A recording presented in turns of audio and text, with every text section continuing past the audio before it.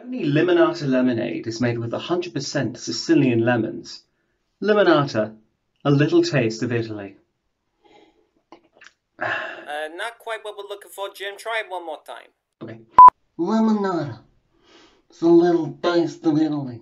Limonata. Let the lemon see the Italy. A little taste of Italy. Fuck. Little Lotta. A lemon taste of bigamy. Limonata lemonade. Limonata, it's a little taste of Italy. Limonata, a little taste of Italy. Little fucking lemonade thing. Bollocks. I didn't get it, did I? No. Cut!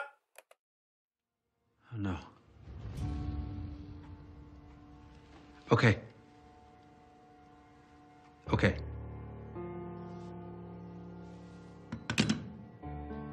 They crashed into a mountain. They survived. They made it to a local town. Oh, we're lucky.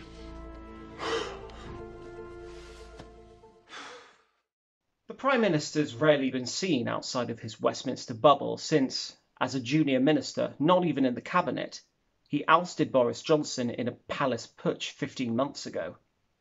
But with the Conservatives running six points behind in the polls, this campaign is confronting him with the very real anger some feel over the economic crisis and how deep the recession has hit the UK.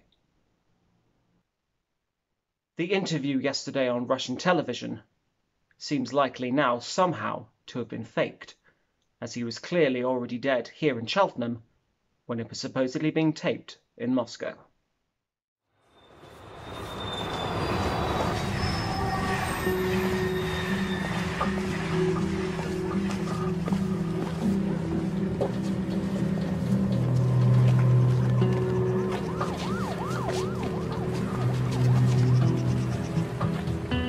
How to it?